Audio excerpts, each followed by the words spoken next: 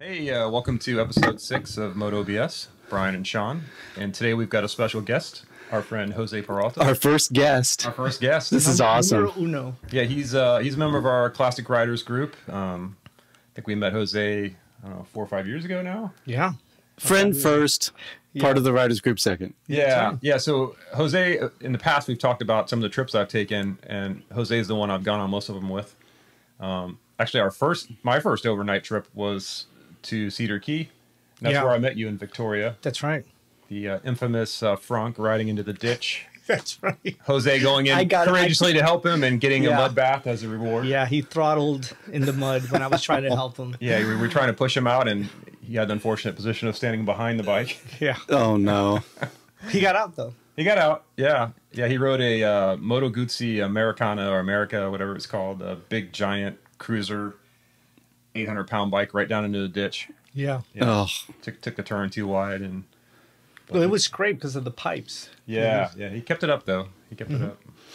But anyway, uh, we're gonna we're gonna talk about Jose's uh, love of motorcycles and how he got started with that. yeah, it's really nice of you to join us today, Jose. Thank you. Um, Good to speaking of the writers group, we just got done riding from breakfast, so had a nice, we're all full and legs. and Yeah, they, they brought Jose a plate of oatmeal that was it was literally like the size uh, of yeah of the the entire. It could have been a meal for two or three people. yeah. Well, we're also upping our, our game here a little bit, Jose, because we are in the presence of a doctor now. Oh. That's right. So, yeah, mom, mom, hey, look, I've got friends that are doctors. yeah, Jose's a doctor. Yeah. It's embarrassing, but yes. Yeah, yeah. We don't mean to embarrass you. Yeah, I'm going to embarrass we you some more though, because you're also a commander in the army, I am. commander in the army reserves, right? That's right. I am. I'm, So thank you for your Lieutenant service. oh, thank you for your support. We um we really appreciate it. We have somebody at the window there. Yeah, that was kind of weird. It's I think it's Groupies, they're coming- paparazzi. They're coming all over yeah, now. the paparazzi. I It's heard uh, you were here. they heard Jose was here. They have a guest. Let's go check it out. Yeah.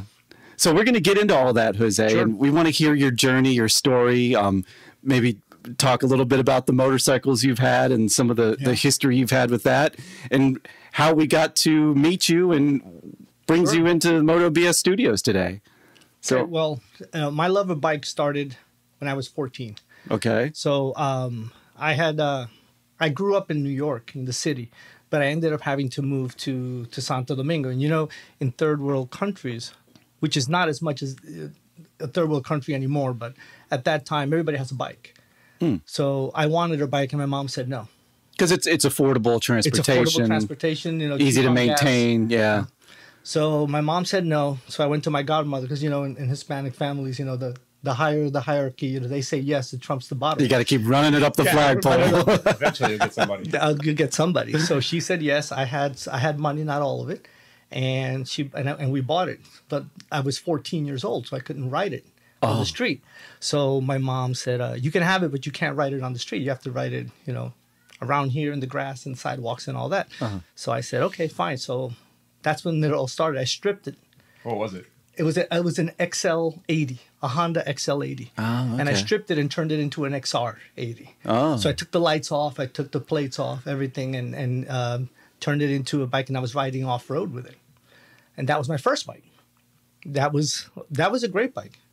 Um, I moved up then to a Suzuki 125, a, a street 125 okay. and th- that needed more power.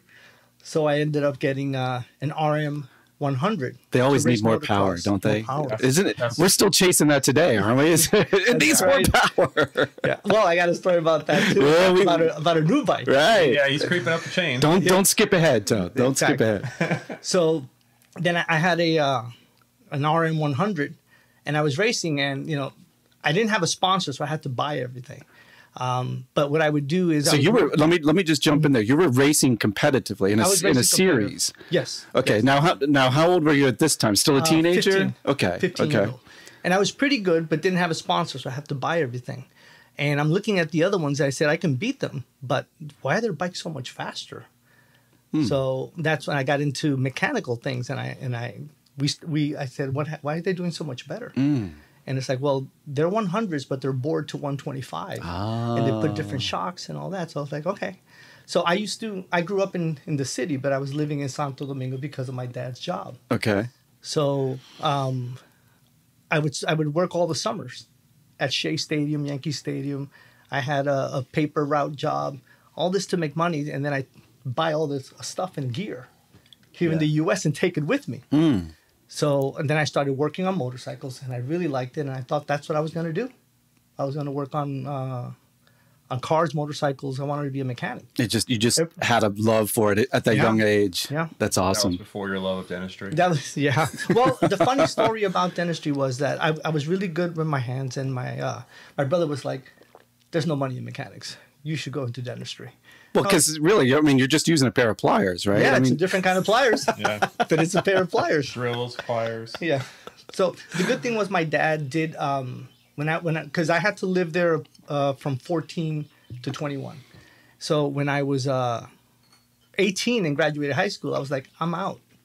And my dad said, You're not leaving to the U.S. alone, knowing me how I was. okay. Uh, you know, get any kind of education, and then you go to the U.S. and you're on your own. Are you saying that you were kind of a headstrong, kind of, you had a little bit of a wild side, Jose? Very much a wild Yeah. side.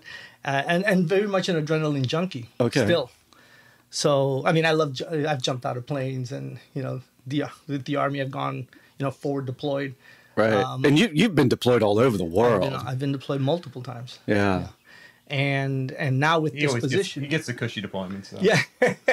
well, I, I've been to combat zones, and it, it's it's been fun. It's uh, it's a whole different experience. It makes you want to yeah. when- enjoy more here when you when you're here. well, I, Wow. Uh-huh. I remember. I still remember you messaging me when you were over there, and you're like, "This place is so nice. I'm thinking of getting a summer home." Yeah. yeah. Well, it's always summer because it was 120 degrees. in the desert, huh? yeah. I think it, you're mostly like you enjoyed those group showers, right? Is that what It's funny because you know you're in a, in, a, in a confined environment where everyone knows everyone and everybody has a job, and you know your patient might be showering, you know, Yeah. in the next hall, and then you're like, hey, you have an appointment at 10. You know. you, you even sent us a, you sent us a photo once of you uh, cleaning the teeth of a uh, like a Malamute, right? uh, a Belgian Malinois. It was Yeah. um, um, a special forces dog, and that photo that I sent was actually on the uh, Army Reserve Instagram page. Yeah. and that's they took it. I didn't. I know there was a photographer there, but um, I didn't notice until they said, "Hey, listen, you're you're yes, famous. Yeah.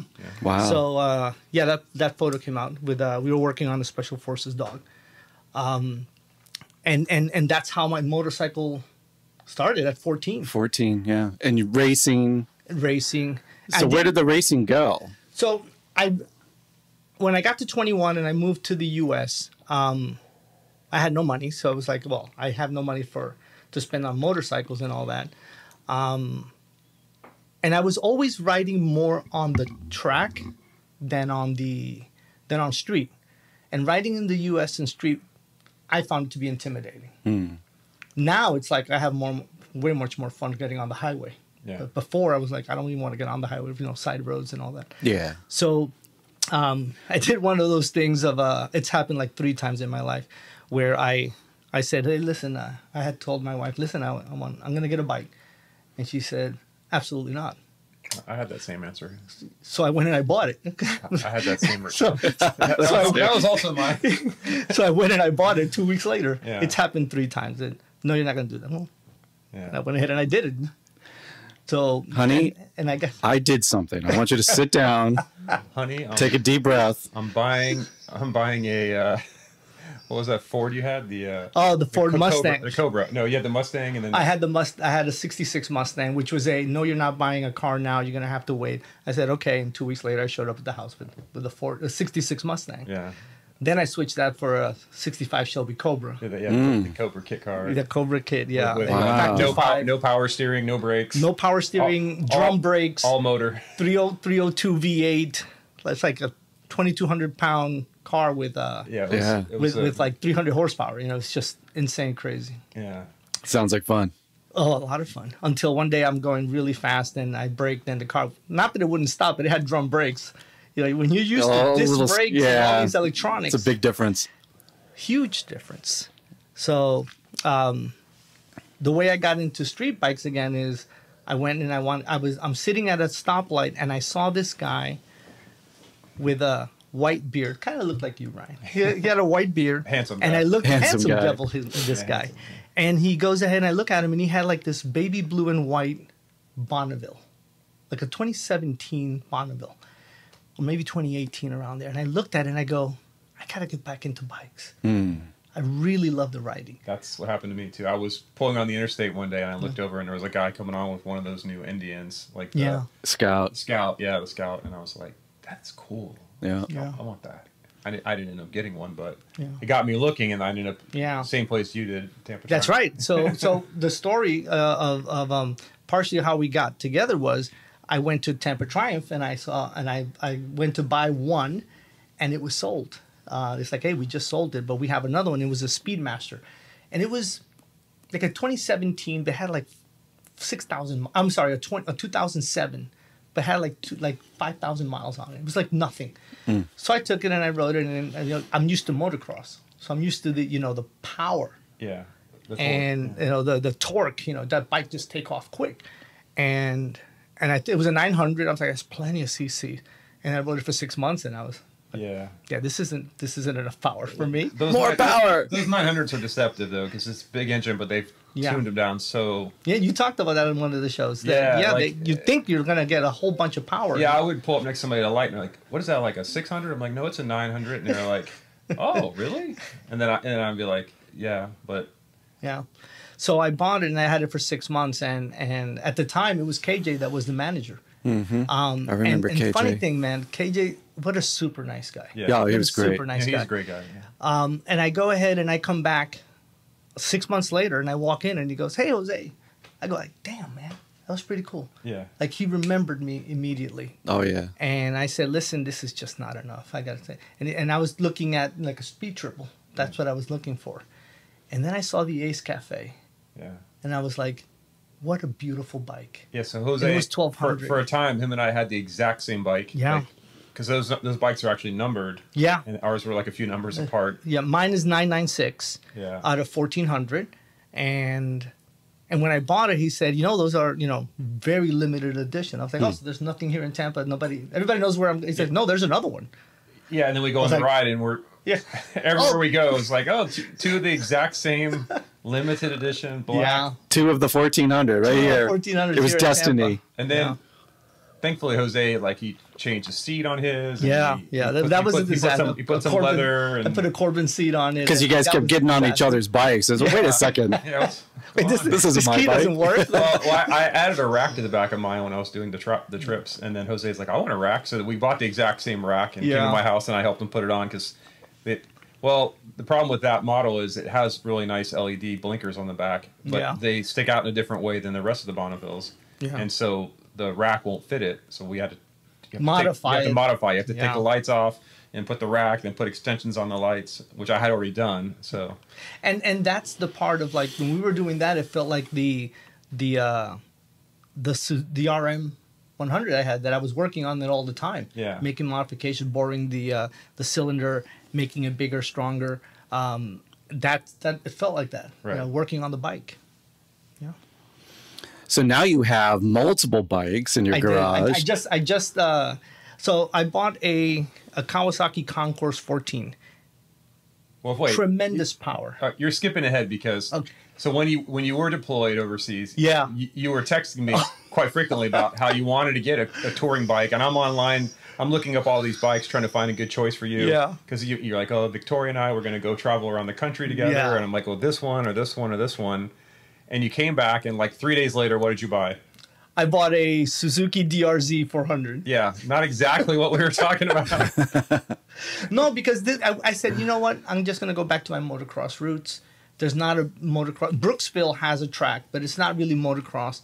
And and I took it one day. Yeah. So we, One day- So, so we we're gonna have to add some B-roll here because somewhere Yeah. we've got the video because our friend John Ross, who Yeah. So but let me tell you the story of how it happened because I, I Okay. remember how exactly how it happened. So we're riding. It was just a lot of sand. so we got Croom. like, in Croom, yeah. Yeah, Croom is like lot a, of a. Central Florida like motorcycle off-road vehicle park where you buy like a membership You buy a membership, and I paid for the for the whole, for a whole year. for a whole year. For a whole year, I which would go to ride. even better. and it's So it's I'm huge riding there. one in Korea. time, the first time on the bike. Mm-hmm. And I, what did John say? He's like, "Don't buy a membership. Just come for one time. Yeah, he's, I was like, no, no, no, no, no. I've was been, like, let's I've been go- riding since 14. Let's go do a fire road or something." You're like, "No, no, I'm going to Croom." Yeah.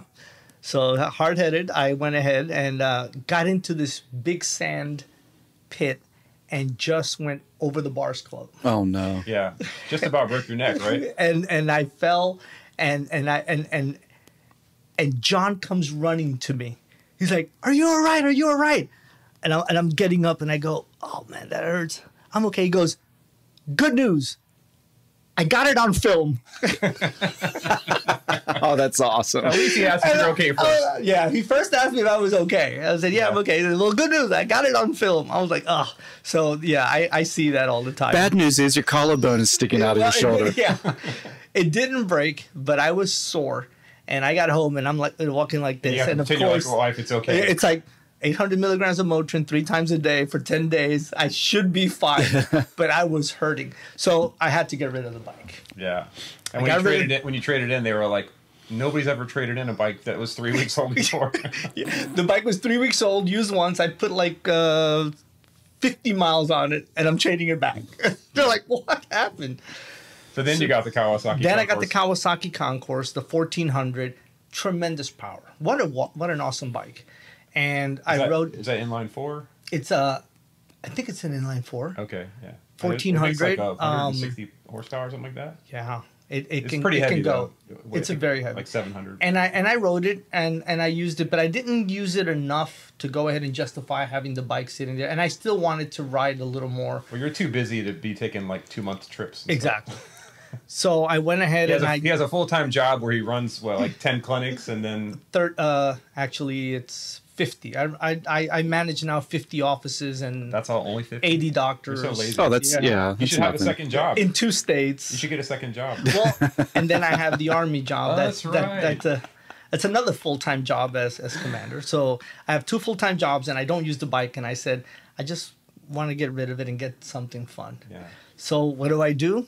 I call Bryan and I go, I'm getting that Speed Triple RS. He goes, Well, look at the specs and compare it to this other bike. Uh, see what you think.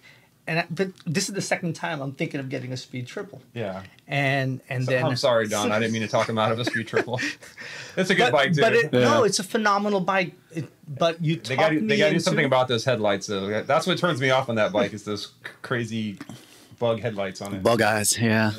So I went ahead and he said, "Why don't you take a look at this, the the MT09 or the uh, XSR. X- the XSR 900? It's the same bike but different." So I started looking at them. I tracked two down. They were both in one in one uh, in one dealership. I rode them both, and I bought the MT09. Yeah, that. Congratulations. Yeah, Yeah, that. Can't wait to see it. Yeah, that Yeah. Yamaha triple is a special engine, man. It's yeah, it's a lot of fun and it's not too much, you know. yeah. Yeah. Well, I wanted it to be. I was reading about it. It says like it's uh um like what what what is the name for the for the MT09? It's like uh it's more fiery, more of a beast, more um like unkept. It's like Yeah. it's wild. I was like, that's me. Yeah. I want that. That talks to my inner being. And uh and I bought it. I still haven't picked it up. I have to go next week to go pick it up. So Yeah. yeah. What color? It's um gray, black, and blue. Gray, black. Does it have the colored wheels? Yes, They're the color blue, wheel. right? It's the SP. So it's the MT09 SP. It has a bunch of electronics, which is the truly the only reason why I looked at it more than the uh, than the Speed Triple RS. The electronics on it are just amazing. Yeah. Very I can amazing. attest. With all the to- different modes and everything? Is that what you're it's, okay? it- it's Yeah. definitely like the the IMU sensor, the traction control. It's definitely saved me a couple times. Well, you remember when we I, were we were in in, in yeah we were do, we were up we were up in Tennessee, yeah up it? in, North Carolina? We were heading to the uh, the Rattler. I think is one we were on the way to. and we got off on, and I don't even know what it was that you hit, but was your like- back was- tire yeah, it was- went this way, and then the bike just kind of adjusted, and you were like, because we were on the headset, we were like, holy, I was like, "Did you see that?" and I'm like, "I'm like, oh my god!" Like, yeah, and that actually that actually was a funny story because we were going to the Rattler and these these stupid Yeah. apps on the phone they always they're always trying to like get you the best route. Yeah. When the route you program in there is the ro- the route you want to take because you're like, oh, I want to go on this cool road and that Yeah. cool road. And somehow or another, it got us onto like one of the Tennessee highways. track. Well, we got, we were on the highway, and I was like, "Wait, it's taking us straight to the hotel. We're gonna we're gonna miss the Rattler." yeah, So we pulled off and we figured out, okay, we either got to go back like 50 miles Yeah. to go the way we want to go, or there's this other shortcut road up here we could take, Yeah. Which turned out What to a be shortcut. it turned out to be a mountainous dirt road. Yeah. And you're on the Bonneville, and I'm on Um, the Tracer. Yeah. that was and and it just like every time you kept going, it kept adjusting and it was like, well, it's only 30 minutes, okay. And then we're riding for like 20. It's like, well, now it's 45 minutes more. Yeah. And then we kept riding, and then and now we're in the middle. I mean, you can, It- hear, the, you can hear the banjos pretty much. Yeah, it's like we're in the middle of nowhere, and getting some, dark. Some guy was coming like- the other way, and he saw us, and he got such a happy look on his face, and he put his hands out the window, was like, "Stop, stop!" So we stopped, and he goes, "Is the highway really back there?" Yeah. Because he'd been on that same road coming from the Yes, other way. Because yeah. he's like, "The GPS He put me on this road." He was yeah. like, "He was like, I think I'm in the middle of nowhere." And I'm like, "Actually, you're pretty You're close very to the close end. to You're close yeah. to the end." And then he goes, "I just saw a bear back there." Yeah, and we were all excited. We're like, "There's a bear!" yeah. So we're like, but Yeah. it was gone. The bear was gone. The bear was gone. We didn't get to see it. And that took us in nowhere. We were like, Oh, uh, well, at some point we're like lost. There was like this real steep uh, where it wanted us to turn, and we're like, that can't be that can't be it. That's just another going to add another hour to Yeah, it. yeah. If we go down there, we're never coming back. So we, we kept going, and then it kept getting longer and longer because it was Yeah. like. Uh, Let's turn back. so we ended up turning back and Yeah. and eventually getting off of that road. It was actually kind of fun. Those are the things Yeah. that make those trips fun. When Yeah, you, that's right. You, you do something unexpected. So that so I was thinking if we take that and that's the wrong one, How are we gonna get we back can't come back up this road. Yeah, it was on- on- really- the it was Bonneville really won't make it. yeah, yeah. It was steep, and the the Bonneville and, And the street slick, slick tires. Tires. Yeah. Yeah, street tires. And the road was kind of a, just like a damp, ruddy, muddy. Yeah. And it was the shortcut. Yeah. That was the one that took us to, to, the, route. highway. Yeah. Mm-hmm. Well, well, let's take a step back real mm-hmm. quick because the two of you have done what three or four Three. long Yeah, well, trips, we- right? Well, if you count, North- if you count Cedar Key, Cedar Key one. and then we did two times the mountains, right? Yeah, two times. And then Key West. And then Key West. so when you say the mountains, you're you're talking about the Appalachian Mountains. Yeah. So or- typically we'll we'll go to Atlanta. He's got a cousin. Great Smoky Mountains. yeah, we'll go to the Smoky Mountains, uh, the Cherohala Skyway, the Tail of the Dragon, all that stuff up Yeah. there. We did it going one up one way, and then we did it the, the next trip. We did it coming, Coming back, yeah. We okay. like one time we stayed in Gatlinburg. Yeah. Um, The other time we we uh usually we'll go. We'll go. Well, we we've, we've taken the trailer um, both times. yeah. So we trailed the bikes to Atlanta because from here to Atlanta it's, it's really flat. There's It's nothing bo- to it's see. It's boring. Yeah. It's boring. So we trailed the bikes to Atlanta. Then from Atlanta we went all the way he's up got to a he's got a cousin that lives there. Very convenient for us. She's got a huge yard with a gate, Yeah. so we can just we can drop the uh, the trailer there. The trailer, the We- car, and- she's actually got an Airbnb on her property. Yeah, yeah. which is Oh really man, convenient for us. that's Yeah. nice. yeah, so we, stayed we, we stayed there. The first time we stayed there, the night we went up, and then that time I was kind of like, well, we really wasted a lot of time. We should have kept going." Mm-hmm. Yeah. So the next trip, we we just dropped the trailer and kept going, and then we and we went all and the we way stayed there on the way back Yeah. instead. Yeah, because my, my son also lives in Atlanta, so which I think that first trip we went out to that, dinner with them. that ice stuff. cream place that he took us. Yeah, I, Je- it was Jeni's, I think. J E N I. Wow. Yeah, Jeni's ice What cream. It's like right in downtown Decatur, and it's is amazing. Yeah, Mhm. yeah, I remember. I still remember that ice cream was so good. yeah. It was really good. Yeah. Now, have you have you taken any adventures um, with more than two people? Have you been on a bigger group ride? No, Well, not, not not well. like- the, no, the one from Cedar, Cedar the, the Key. one to Cedar Key, which Cedar Key. Yeah. Isn't Like- like- too far, right? Yeah, if if you rode direct like from here to there, it's It's two hours. two or three hours Yeah. or whatever. Yeah. But we did like a whole route. Um, Yeah, John was leading it was us. six hours. We Yeah. did it in six, but it was Yeah, we went we went all the way to Middle of the Central. Florida, and we did all kinds of, you know, had lunch at this at this place. Uh, it was really nice. They had a band that was going to play Yeah. that at, at lunchtime. it was actually okay. pretty nice. And then, actually, then we stayed the night in Cedar Key. Um, Cedar Key is not very big. I, I was expecting Yeah. more actually when we got there. It was like, you know, they have like a little strip of restaurants like that kind of go out into the into the Gulf a little bit. Mm-hmm. And we had a good time that night though. We had uh, Yeah. that was when Frank was with us. Frank. Frank. Yeah, right, that's our that's our Oh, you mean Frank? yeah. um the and you know that was where the hurricane hit the la- last year. Yeah, yeah, it hit after after we left there. Yeah, It hit like after. a few, like a few months later, right? It, Well, yeah. So it was um no a year later. yeah, it, year it- later. but it washed it out pretty good. Oh yeah. But I think that happens to them all the time Mm-hmm. because they're right there on the coast. But yeah, so we had a good time that night. Um, there was a there was a girl with us too. I don't remember her name. Remember the young girl? Um, I don't remember her She name. She was, like, in her 30s maybe. She was one of the. It was. I think that was her first trip riding. Yeah, she she wrote, she actually had ridden over from the East Coast.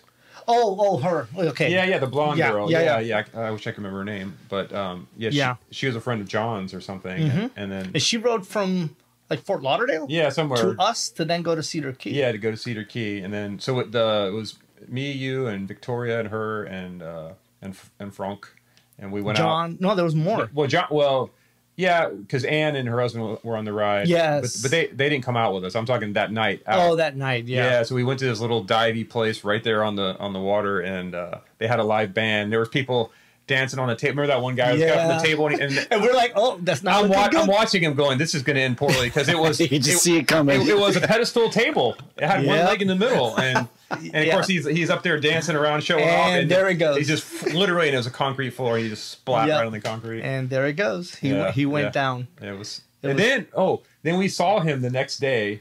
We were walking to get coffee, and the town's so small, like everybody's out looking Mm-hmm. for somewhere to eat. And he's walking down the street, and his whole side of his face is black, and his eyes all Oh, bulged no. out.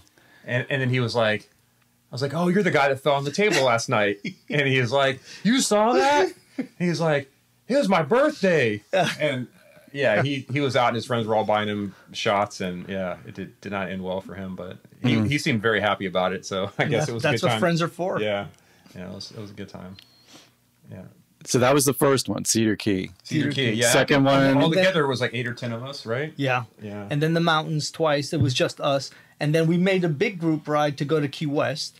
And the day, like three days before, there's a huge thunder, uh, a huge storm coming yeah, through. Like forecast, and, And- we, and- we kept going. Oh no, it's going to clear. Yeah. It's, oh no. it's oh, Florida. no. It's Florida. And then yeah, no, you were saying, oh, yeah, you know how many times you're in Florida, we, we stop a ride and it's because it and nothing happens and nothing happens. Well, like the day before, we're like, I, this is not looking good. I call my friend that lives down in Fort Lauderdale, and he's like, "Man, you, you're you're still coming down here?" And I was like, "Yeah, Yeah. yeah, it's gonna be fine." He goes, "Bro, it's like 45 mile an hour winds, and it's blowing sideways." yeah.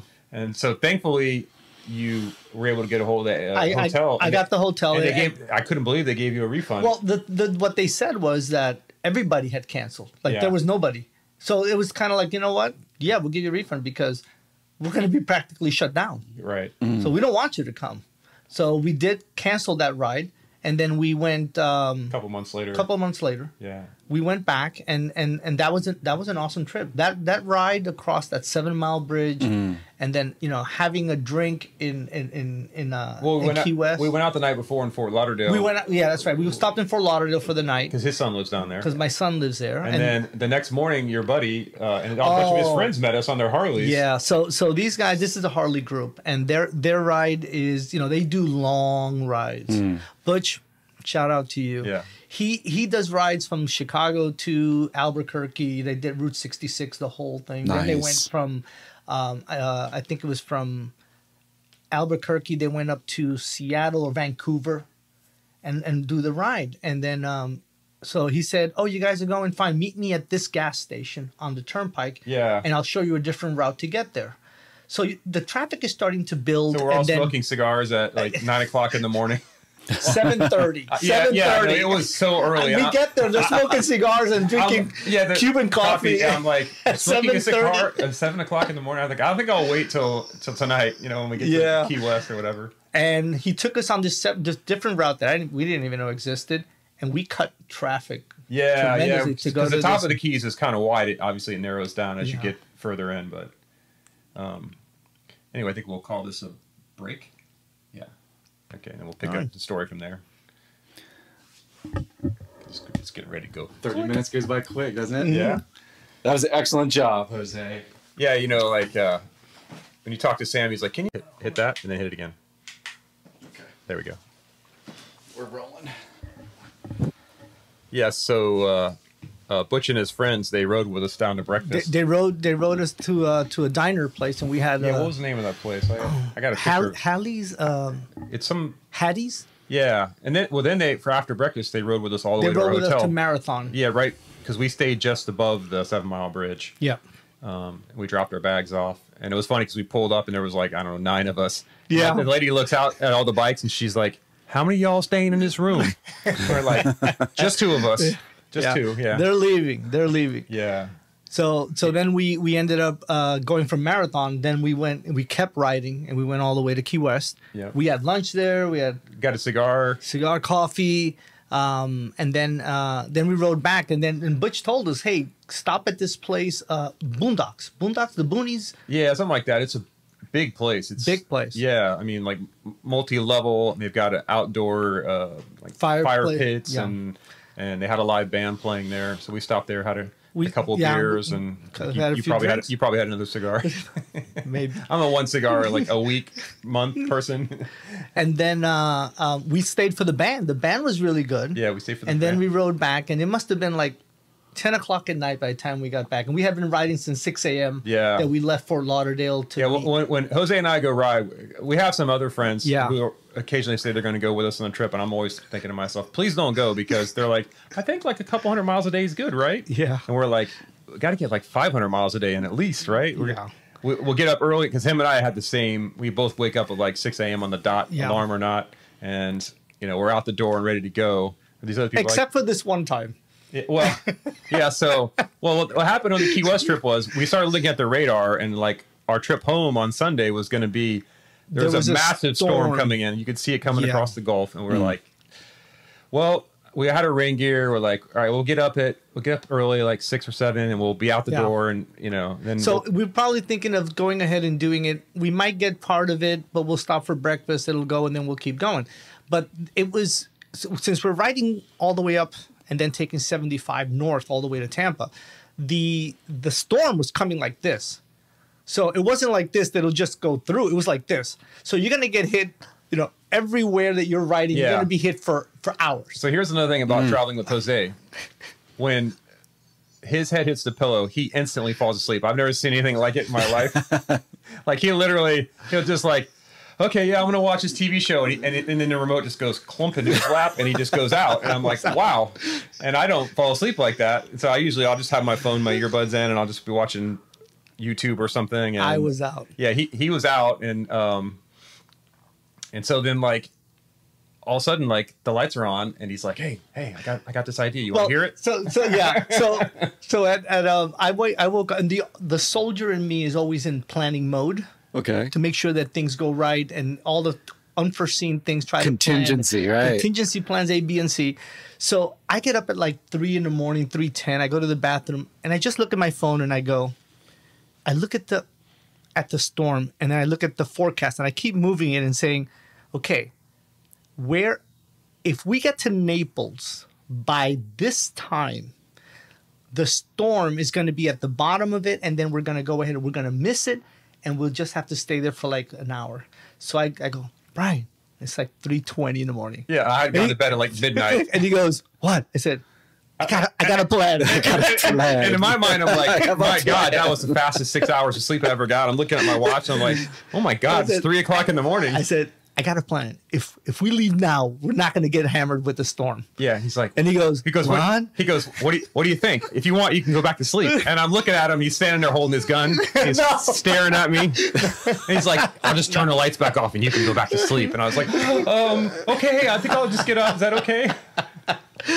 So so we left at three thirty in the morning. We went next door. There was a like a Shell station next door, and Yeah. they had no coffee in there. So I, None. I got like a bottle of Starbucks cold coffee and a thing of those little round donuts or something. Yeah, yeah, those little powdered jelly, Yeah. powdered donuts. You Yeah. should have you should have sh- shooken Bryan up and said, Bryan, we have to leave right now. yeah. Uh, okay. His plan did give. I'll give him fair credit. It worked out well. We, we got out. to uh, To Naples. to Naples, and he. I guess you're, one of your I- offices. one there. of my offices has and there, a, and there's a garage a next door. huge garage, covered garage, because it's next to a mall. So we So- stopped. We stopped and got breakfast. I You just- beat the rain. We beat the beat the rain. rain. We got there. We had breakfast. Yeah. Right as we're leaving breakfast, it starts to sprinkle a little Yeah. bit. We pulled across the street into the garage. Mm-hmm. Now here's the bad thing about this because the breakfast was great. Had Yeah. Four or five cups of coffee. And then we go across there, and it's it's a garage from a mall, yeah, which is not open yet because Yeah. it opens So at the like bathroom eleven. was So the bathroom's locked. It has a gate, and it's shut. And there's tons of maintenance guys kind of scooting around on their little carts, Mm-hmm. but I could not get their attention.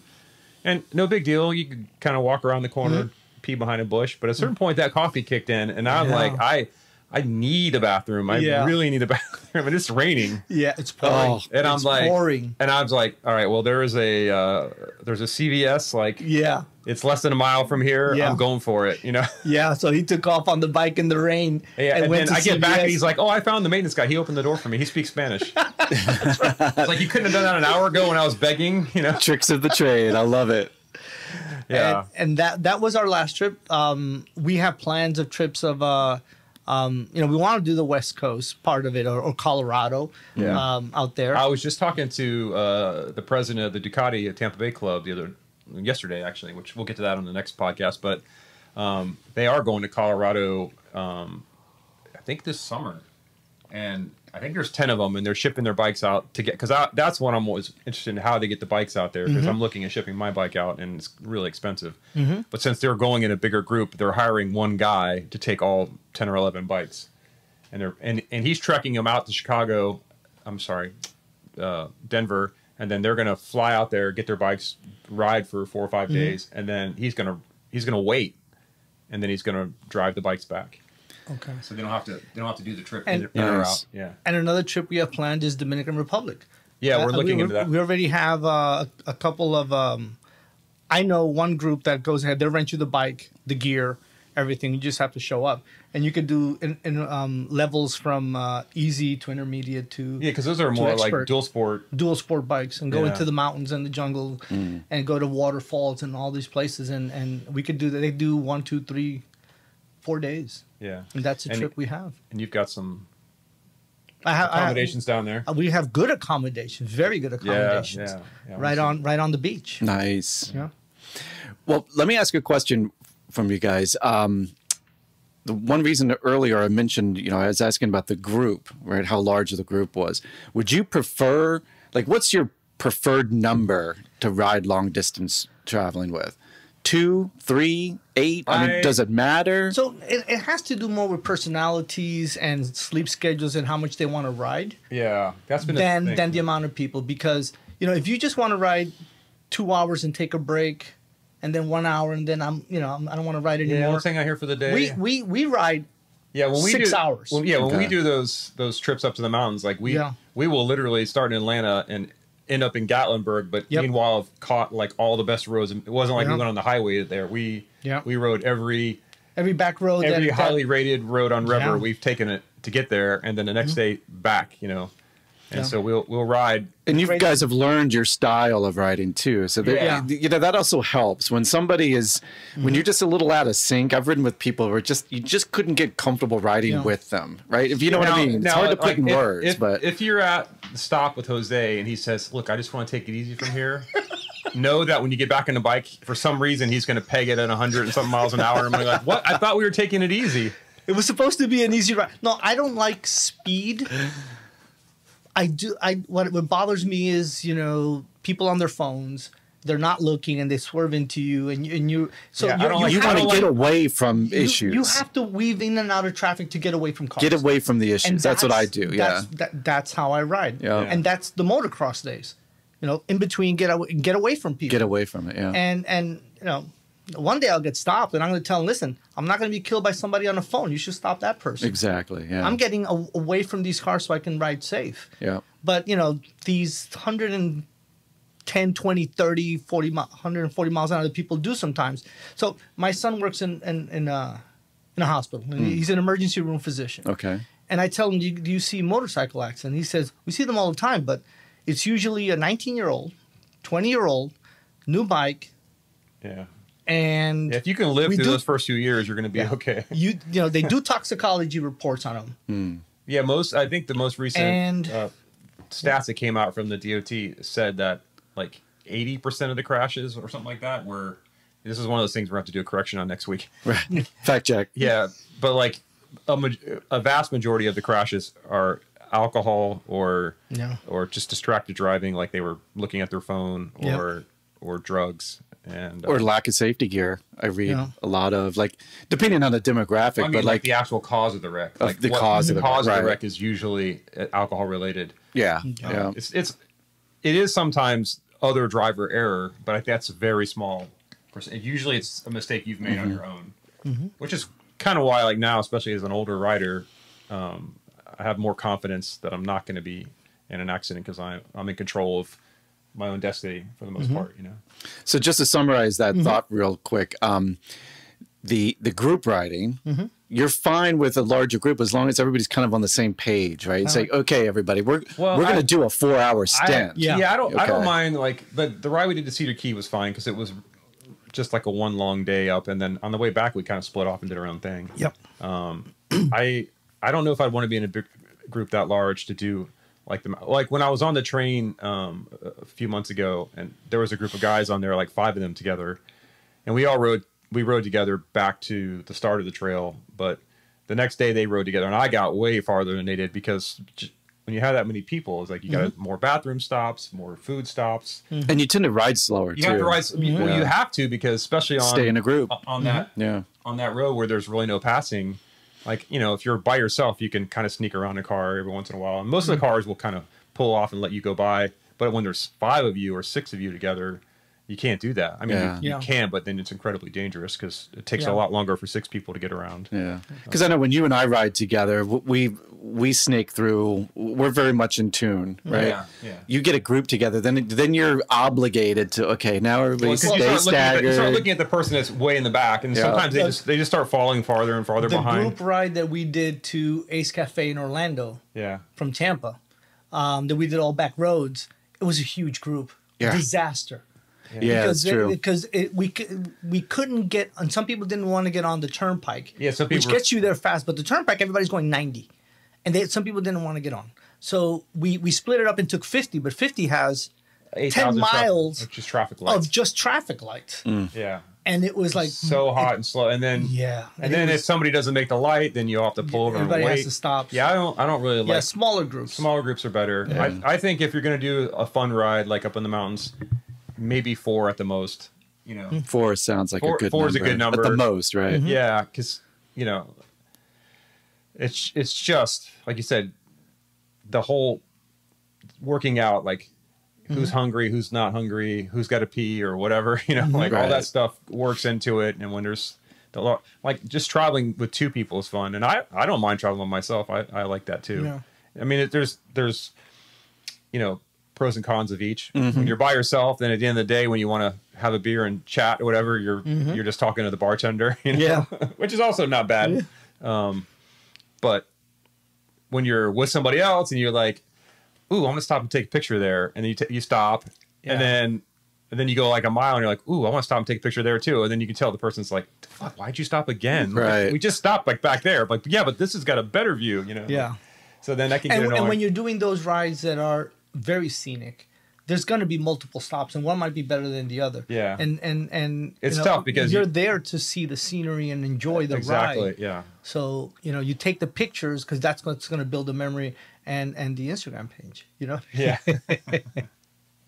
So, what are you hoping to do with the MT09, um, Jose? Is squid pure squid He's gonna become a squid. no That, that's your local Tampa runaround bike? Yeah, I'm, I'll take the the Bonneville and use it more for long distance because I have the Corbin seat on it, which is a little more comfortable. And then I'll go ahead and um, um, use the MT09 as a daily, and I'm gonna give it to my son. So Oh. my, my son will be yeah, it'll it'll end up being one of the two. I don't know. Huh. I promised him the Yamaha, and then I'm thinking, I'm telling what you if I love it? I'm gonna. He might get the Bonneville. Uh, I- he so might thi- not so get. So, this is my story too, because like I Maybe he wants the Porsche. I'm sorry well, to yeah no I, I bought when I die, he can have the Porsche. yeah I bought I bought the Tracer with the same expectation that I was going to keep it for trips and I'm going to ride around the Bonneville. Yeah. And then because the Tracer, so the Tracer started out as an MT09 Tracer. That's that Yeah. was his designation when they first built it. Because basically it's it is the exact same bike, just a little taller and Mm-hmm. you know with more bags or whatever. But um, yeah, I got that bike, and then after riding around for two weeks, I was like, I'm never riding a Bonneville again. Like.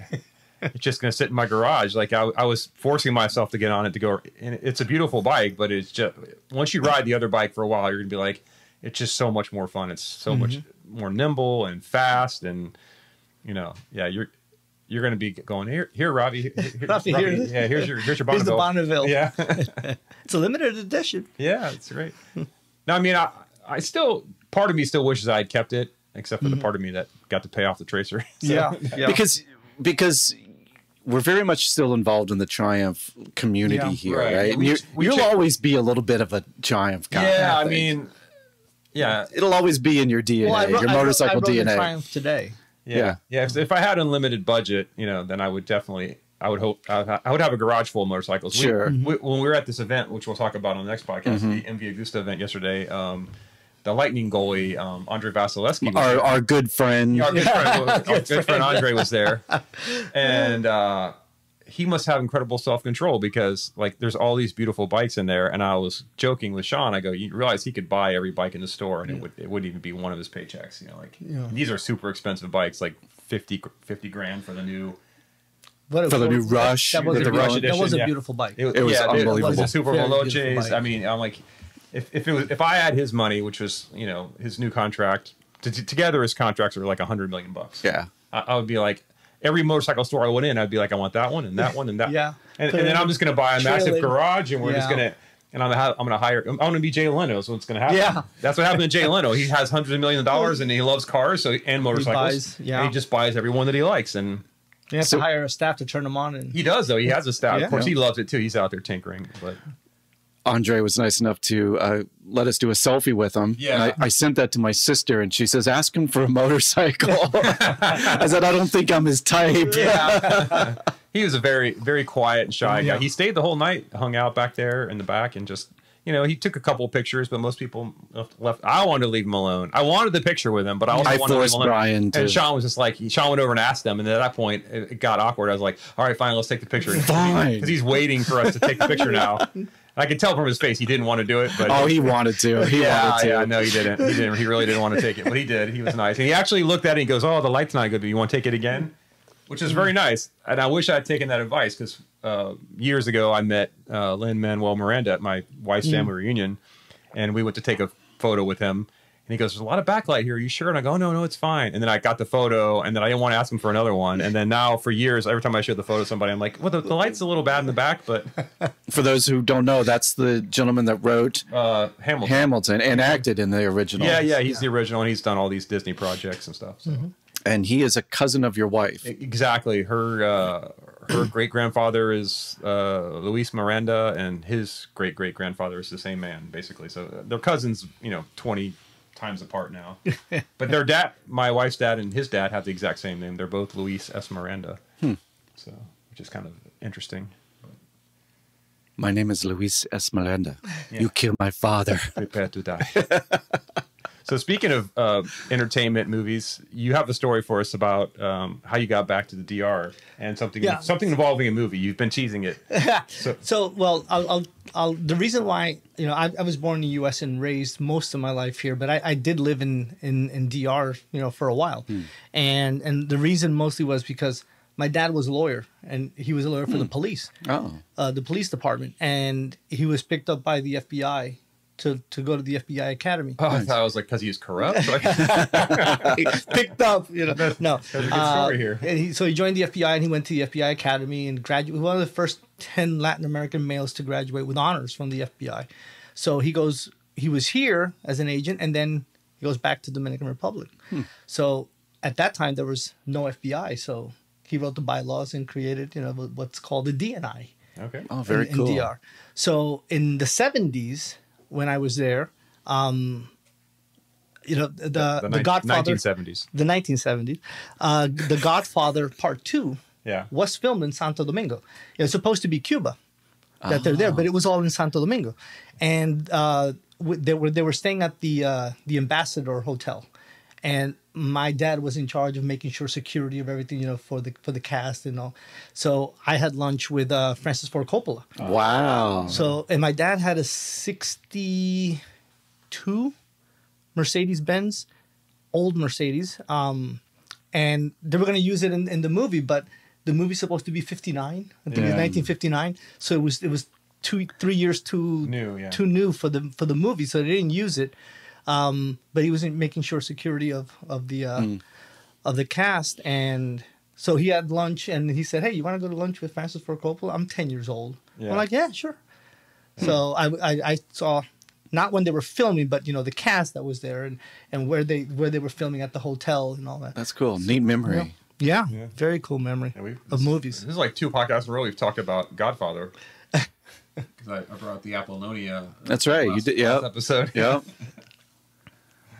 That's cool. That's cool. So um, this is the end of the show. We usually talk about what we've been uh, um, watching or listening or reading in the last uh, week. Yeah. Have you seen or heard anything interesting this last week? What have I been watching? Um, started the Outer Range second Yeah. season. Yeah. So we both watched Outer Range season one, and Sean messaged me the other day. Said, "Hey, Outer Range season two, you gonna watch it?" And so I went, "Yeah," and I went immediately and watched all seven episodes. And then I go, "What'd you think of it?" And he goes, "Oh, I've only seen half of the first one." Yeah, I was just like I, that. Is, it's kind of a slow burn. Well, it's also uh, the first season was very complicated. There was a lot that happened in it, and I found a good video on YouTube of a guy doing a recap because the recap they showed you at the beginning of season two on Amazon was it was terrible. It was like here's three scenes you might remember, and I'm like, but so much happened. So there's a good recap on uh, on YouTube, and I watched that, which reminded me of all these things because it's got a lot to do with uh, time travel. It was basically Yellowstone if they had a uh, a time portal in the middle of the, the valley. Yeah, it's one of those sci-fi shows where it's it's only kind of sci-fi. Yeah, you know, yeah. there's just a little element of it's science Josh, fiction it's in Josh Brolin and with um, fantastic acting. yeah, all the cast is is is great, and um, uh, I'll spoil a little bit of it. So basically, he when he's a little kid, he falls through this hole, and he he comes out in like the 1960s, I'm guessing. Mm. But he but he started from the 1860s, so so he's like a kid from you know Lincoln's time and ends up in the uh, right. ends up in the modern modern America and and stays there, and um and the hole kind of comes and goes. I don't know. They don't explain what it is. Some kind of portal. some kind of portal that's on the land that his wife's family owns, and um, got- probably tie back to the Native American aspect. yeah, yeah. I There's think. yeah, there's a there's a whole Native American storyline, and and there's like a rival family that wants the land, and they because they kind of know about the portal, and I don't know what their plan is with it, but but it's good. I would. it's, I would it's a really, it's a really good show. Yeah. Yeah, and it, it helps if you, you know, if you watch season one. yeah. don't don't start with season two. Yeah. So what else? Is that it? Um. Yeah, that's about it from my side this week. Outer Range. Yeah. You what were about saying, you? You were saying you uh, you're reading a book. I'm I'm I'm reading a field hospital manual on how the army runs field hospitals. Is that available on Audible? no. no, it's it's it's uh, it's not boring. It's interesting. It's how um, field hospitals work and how they function. How it uh, you know you set it up, tear it down, make it work. I I have 400 and something soldiers, and everyone has a job to do, and we have to manage a field hospital. Are So I there to- chapters about setting the tents up? there, well, Insert rod into post B.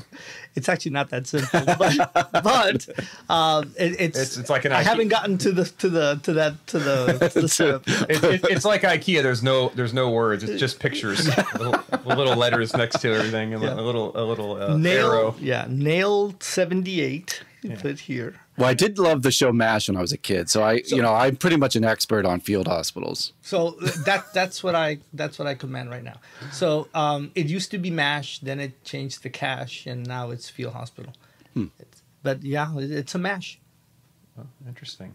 Mobile Army Surgical Hospital. Is that what it is? Is that what it used to Um, stand for?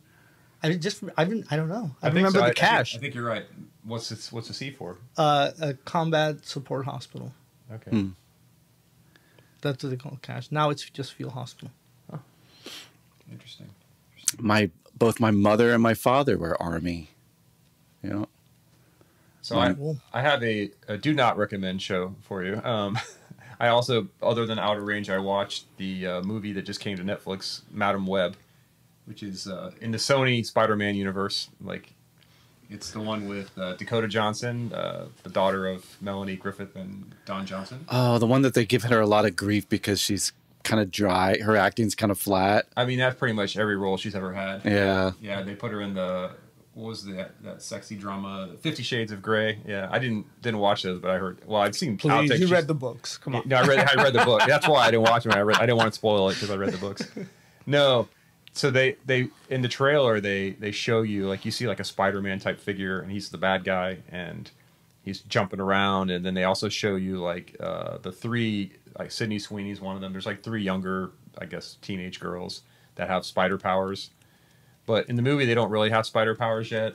The the bad guys had a vision of his future and he sees them as the spider girls kill him and so he's out to get them before they get their powers that's what the movie's about. And her power is sort of seeing the future. Hmm. i don't know. It's terrible. It, it is like like if you've seen any of the other It's other terrible. That's yeah. it's, it's terrible. It is so bad. Yeah. They they they, they totally like you, you see the trailer and you're like oh there's going to be all this action and spider people and stuff. And it's literally like a th- the scene that you see in the trailer is what is the entire part of it. And they also do a thing where um her she's an ambulance driver or whatever and her partner is uncle ben so he's he's spider-man's uncle but Okay. but his sister's getting ready to have give birth she's pregnant with spider-man basically um, and it's, she's played by Julia Roberts' niece, uh, Emma, I guess. Yeah, okay, yeah. So like, they're they're in it. They're kind of like wink, wink. See, this is Spider Man's in the movie. He's right there in her belly, you know. And they they're even going like, what are we gonna name him? I don't know, you know, like. So they they, they make that part of the plot. Um, but yeah, no, it's uh, it's, it's Well, I have been. You know, my wife is uh, from India, so we do watch a lot of Indian cinema. Did you get Bollywood. Watching Bollywood. Did you have you watched- Bollywood. Did you watch uh, Monkey Man yet? No, I haven't seen Monkey Man. I, Dude, thanks for like- reminding It's me. like five bucks. Come on, Yeah. I got to do Monkey Man. I, I, wa- support Dev. the, the one thing I wanted to ask you guys are because you guys have smaller dogs. I have a huge dog. I was wondering, you guys have smaller? I was like, come on, man, let's not put that on the podcast. Oh. Where is this conversation going? Where's here? it going? Do you guys think of riding with your with with the dog? Like, Uh, I've seen guys. There's this one guy in BMW um, that comes to some of these things, and he's got his dog in a little, a little basket with the goggles on. It's super cute, but no, I would never do it. ah, I I, I Yeah. think I, I think I might get a cat just to go ahead and put a helmet on. Oh, yeah, because my dog is seventy pounds, and you know he You would have to he's get a full- full side yeah cover full that. side helmet for for him. I'm thinking that you know get a cat and and put one on. there is this one cat I see on Instagram a lot. Yeah. he's got like yeah, he's like He's got back- gray. yeah, yeah, he's got the gog. He's, and he apparently loves it because he just hops up there and he's ready to go. yeah, Yeah, I, um, That's awesome. Yeah, I don't think I. I don't think I want my dog. Well, my one dog is 14, and he's No. he's not ready for that kind of adventure. And the other one is you, you, just you an can't put him here and You know, and, and, and the other one is just a pain in the ass. And I, the producer. The producer. no, that's one of his dogs. Yeah, yeah. He, he's got a couple dogs. She has. My wife has a couple of dogs. I, can't, I can't claim those. Yeah, their their dogs are actually good friends of mine. I, I like their dogs. Although I actually got bit this week by a dog on a job. I was on a job site, and the lady's like, "I gotta let my dog out to go to the bathroom." I'm like, "Oh, I'll go shut the gate." And I walk out there, and I'm I'm closing the gate, and all of a sudden I'm like, "Ow!" And I look down at my foot, and this little freaking, it had six pound dog. Yeah, it was it was a uh, um, what's the Mexican dog? The uh, Chihuahua. Chihuahua. It was a Chihuahua mix, and it had one eye. The other eye, I guess, from birth they had to they sewed it shut. So it was like this little gangster one eye. Oh my gosh. And I guess he saw me closing the gate and decided that I was going to do something to his mom. And he just literally, I was wearing like, you know, cloth sneakers, and he bit, and it broke the skin. Like he went through my shoe and my sock, and Wow. and I, I was nice and I didn't kick him. You know, like I was doing that that that dance when they you know like when they fire the gun at your feet and they're like dance. sucker." Yeah. I, I was doing that because he was trying to get my other foot and I was like no no no. And I'm You think I'm funny? Yeah yeah Funny how? Like I'm here to amuse you. yeah. Like I'm a clown. So yeah, that was. Uh, Well, Good stuff. excitement. Yeah, but this is a it's been a fun episode. This has been great. Our first Great to guest here. On Moto guest. BS. we're definitely An gonna have honor. Jose back. We got we got more stories to get. We didn't even get to all the rides. It's we've been an honor. Jose, anytime you want to come Thank and join us, Thank you. More than happy to have you here. And yeah, you've you've got our Venmo. So I direct. I'll, I'll- I'll send you money for the podcast. yeah yeah. Cool deal. Well, I hope you guys. Uh,